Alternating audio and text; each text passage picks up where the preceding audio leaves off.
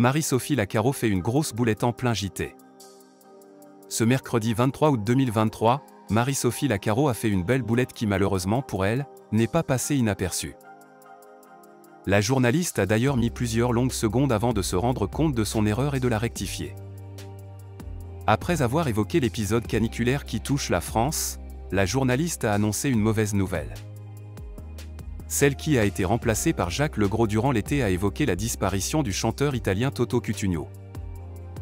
Elle est alors revenue sur sa longue carrière et a cité les artistes français qui ont collaboré avec lui. Mais la journaliste a fait une jolie bourde puisqu'elle s'est trompée en citant l'une des personnalités. Marie-Sophie Lacaro a en effet confondu Mireille Mathieu avec une autre femme totalement inconnue. Il avait composé pour Michel Sardou, Michel Mathieu ou encore Johnny Hallyday l'explique-t-elle. Mireille Mathieu, pardonnez-moi, lance-t-elle quelques secondes plus tard.